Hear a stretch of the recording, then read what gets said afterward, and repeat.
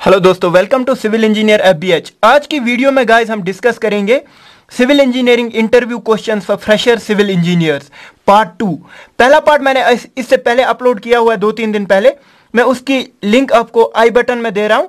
आप उस वीडियो को भी जाके देखिए इंपॉर्टेंट क्वेश्चंस मैंने उसमें भी डिस्कस किए हुए हैं। तो यहाँ पे हम आते हैं इस वीडियो पे जो इंपॉर्टेंट क्वेश्चंस मैंने यहाँ पे आज लिए हुए हैं, वो आपके साथ में डिस्कस करूँगा। मुझे उम्मीद है कि आप लोगों को ये क्वेश्चन याद हो जाएँगे और आप इन लोग इन क्वेश्चन को अच्छी तरह से याद करोगे ताकि आगे जब आपका कोई इंटरव्यू होगा तो वहाँ पे आप आराम से उस इंटरव्यू को क्रैक कर सकते हैं। तो पहला क्वेश्चन जो हमारा है minimum grade of concrete used in RCC तो मिनिमम ग्रेड जो कंक्रीट का हम आरसीसी में यूज़ करते हैं, वो है एम ट्वेंटी तो दोस्तों, आपको अगर कोई क्वेश्चन पूछेगा एम फिफ्टीन कॉन्क्रीट जो है वो यूज़ होती है आरसीसी के लिए तो आप बोलोगे नहीं एम फिफ्टीन कॉन्क्रीट नहीं यूज़ होती है। एम ट्वेंटी और एम ट्वेंटी से ऊपर M twenty five M thirty M thirty five यही कॉन्क्रीट यूज़ होती है आरसीसी में। उसके बाद दूसरा question slope of staircase according to IS code IS code के हिसाब से हम स्टेयर केस जो बनाते हैं, उसका स्लोप कितना हम मैक्सिमम रखते हैं। तो हम स्लोप कितना रखते हैं दोस्तों?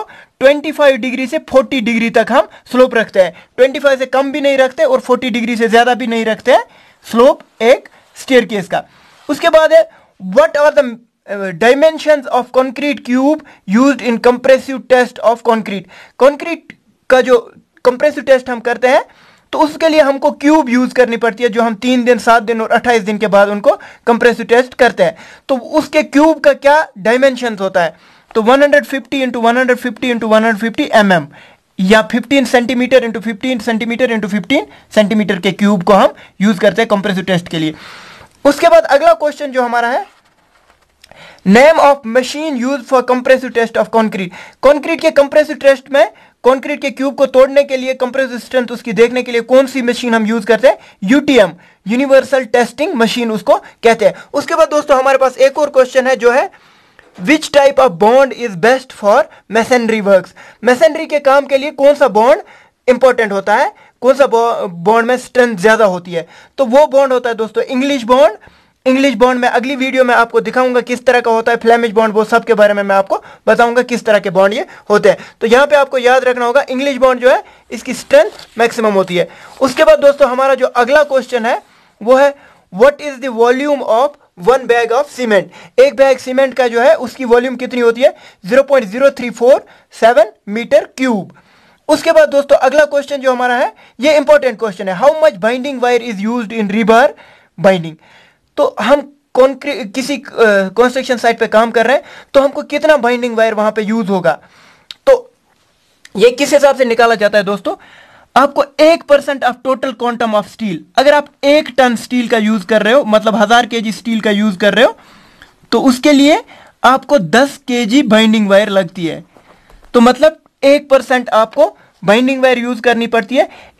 एक क्विंटल के लिए मतलब एक सौ के के लिए एक के बाइंडिंग वायर यूज़ होती है। एक हज़ार के जी के लिए दस के जी बाइंडिंग वायर हम यूज़ करते हैं। ये इंपॉर्टेंट क्वेश्चन है। यह आपको याद रखना पड़ेगा। आपको कहीं भी ये पूछा जा सकता है। उसके बाद what is the formula for calculation of weight of steel bar तो स्टील बार की वेट के लिए जो इंपॉर्टेंट फॉर्मूला है, वो है, जिससे हम ये कैलकुलेट करते हैं। तो वो है D square divide by one sixty two point two into L तो डी यहाँ पे होता है डायमीटर ऑफ़ बार कितने एम mm की बार है? वो मिलीमीटर्स में, उसके बाद एल जो होती है length in length of bar in metres ये मीटर में होती है। ये मीटर्स में होती है और डायमीटर जो होता है वो एम mm में लिया जाता है। उसके बाद आखिरी क्वेश्चन आज की वीडियो का जो है हमारा pH value of water use for curing curing जो हम कंक्रीट की करते हैं, उसके लिए पीएच कितना होना चाहिए वाटर का? दोस्तों, आपको ये याद होना चाहिए कि वो पोर्टेबल वाटर होना चाहिए। जो ड्रिंकिंग वाटर टाइप का वाटर है, वैसा ही वाटर हमको यूज़ करना चाहिए क्यूरिंग के लिए। और उसका पीएच होना चाहिए सिक्स और उसके बाद वो वाटर जो है, उसमें क्लोराइड्स नहीं होने चाहिए, क्योंकि क्लोराइड्स की वजह से करोजन होने का खतरा होता है। तो ये कुछ इंपॉर्टेंट क्वेश्चन थे जो हमने इस वीडियो में डिस्कस किए। अगली वीडियो में कुछ और इंपॉर्टेंट क्वेश्चन हम इंटरव्यू वाले डिस्कस करेंगे। आप चैनल पर बने रहिए चैनल को सब्सक्राइब कीजिए, अपने दोस्तों के साथ वीडियो को शेयर कीजिए और लाइक कीजिए अगर आपको ये वीडियोस पसंद आती है। तो थैंक यू दोस्तों आज की वीडियो के लिए।